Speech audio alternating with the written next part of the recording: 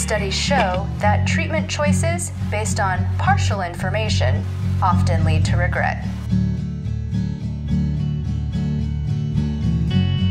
Further reports indicate patients face a real dilemma when selecting among so many treatments with irreversible consequences. The key to prostate cancer counterbalances the pervasive biases of a surgically dominated industry.